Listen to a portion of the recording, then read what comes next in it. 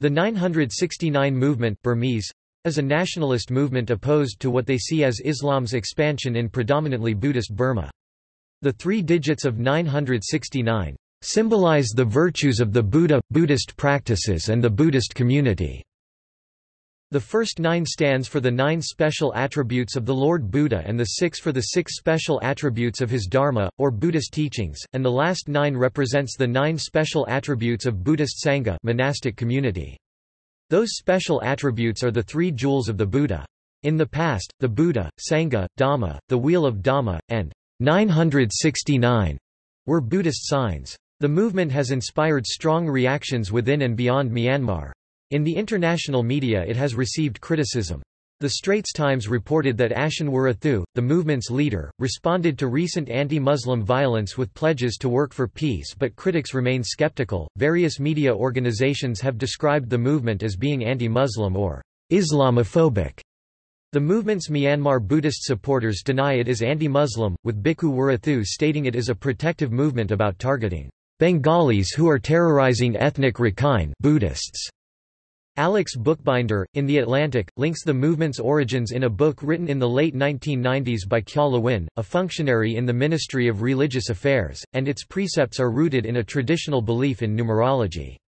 Across South Asia, Muslims represent the phrase, "...in the name of Allah, the Compassionate and Merciful." With the number 786, and businesses display the number to indicate that they are Muslim-owned. 969's proponents see this as a Muslim plot to conquer Burma in the 21st century, based on the premise that 7 plus 8 plus 6 is equal to 21. The number 969 is intended to be 786's cosmological opposite. Wirathu Wirathu is regarded as the movement's highest protector. It has been reported that he advocates the boycott of shops owned by Muslims. Wirathu has himself stated that the movement has been treated as a scapegoat by being unfairly blamed for events like the 2012 Rakhine state riots, and maintains that 969 is not violent. The Asia Times Online has described him as a complex figure who demonizes Muslims, but also protests police violence. An article in the Straits Times says a source indicated that Wirathu had changed his tone and pledged to promote peace among religious communities. The cover story of the 20th of June 2013 issue of Time magazine called Wirathu, the face of Buddhist terror. You can be full of kindness and love, but you cannot sleep next to a mad dog, Wirathu said, referring to Muslims. If we are weak, he said, our land will become Muslim. Some people misunderstood the title of the Time article, Seeing it as an insult to religion, said Dr. Yan Myo Thein, a political analyst. They believe it's equating Buddhism with terrorism. After the publication of the Time article, Wirathu denied responsibility for anti-Muslim violence.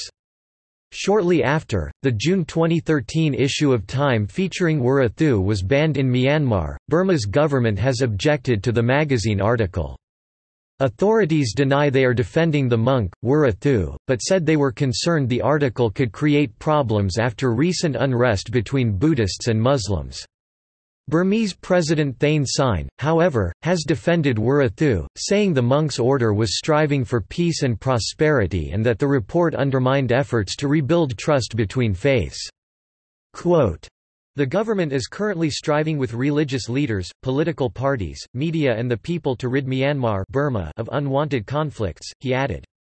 Wirathu has said that the Time article was not against Buddhism, just against him. In an interview with the Irrawaddy magazine, he also alleged Muslim extremists were behind the article and planning to wage jihad against Burma. Hundreds of protesters took to the streets of Yangon early in the afternoon on 30 June 2013 in a peaceful demonstration against Time magazine's article on senior monk U Wirathu and the 969 movement he leads. Marching monks held a banner proclaiming that U Wirathu is not the terrorist, but the protector of race, language and the religion. Speaking to Mizzima News, one demonstrator, a 51-year-old office manager, said, Time magazine is wrong. He is peaceful. Every monk is a peacemaker. The Buddhist religion wants brotherhood with everyone. In September 2014 Ashin Wirathu attended a Great Sangha conference In Colombo organized by Bodu Bala Sena. Ashin Wirathu said that his 969 movement would work with the Bodu Bala Sena. Initiatives The movement is seeking to draft a law that would forbid Buddhist women from marrying non-Buddhist men without the permission of local officials. Dhammapiya, a senior monk who helped write the original proposal for the laws, said they were meant to encourage peace between different faiths and to protect Buddhist women from being forced to convert to Islam when they married Muslim men. Government religious regulatory authorities, while supporting the protection of the Buddhist faith from perceived Islamic threats, reject the legal initiatives of the 969 movement and prohibited the creation of formal organizations based on 969 principles. See also Bodu Bala Sena 2012 Ramu violence Buddhism and violence. South Thailand insurgency. Rohingya conflict in western Burma. 2012 Rakhine State riots. 2013 Burma anti-Muslim riots. Persecution of Muslims in Burma. Patriotic Association of Myanmar. Chittagong Hill Tracts conflict. Persecution of Buddhists Hashtag Bangladesh. Chakma people. Jumma people